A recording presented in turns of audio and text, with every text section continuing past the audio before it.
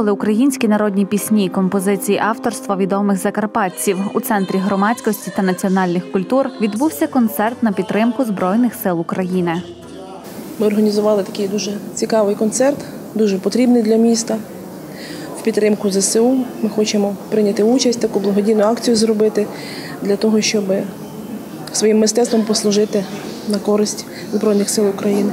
Це є спільний проєкт. Ідея моя, але спільно ми його зробили.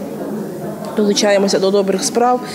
Творчі закарпатці та гості нашого краю об'єдналися заради доброї мети. Поєднують благодійність і мистецтво не вперше. Ірина Зіміна Яценко родом з Одещини виступає на концертах такого типу ще з 2014 року. Сьогодні підготувала для гостей особливий репертуар.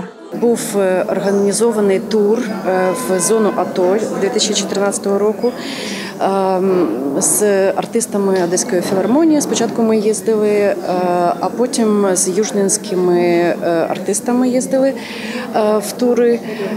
Ну і так на протязі цих років на півдні України я давала такі благодійні концерти. Ми підготували декілька відомих е, українських шлягерів. Е, а в другій частині я буду співати і е, свої авторські пісні, які вже презентувала на своєму сольному концерті 14 червня в музичній школі. Любов в нелюбові на слова Ярослава Ланьо.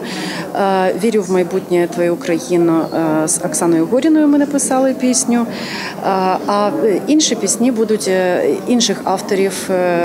У залі зібралося чимало людей, поціновувачів прекрасного серед присутніх і наші захисники. Понравилось мені, це хочеться розвіятися.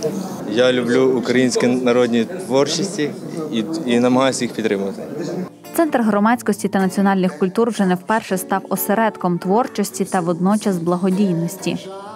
Для колективу Центр громадськості це стало вже доброю традицією. Ми не тільки приймаємо участь, ми їх і організовуємо. Е, безпосередньо даний е, захід був пов'язаний з е, підготовкою до свята декларації державного суверенітету. Це велике свято. І ми подумали, вирішили провести такий концерт благодійний.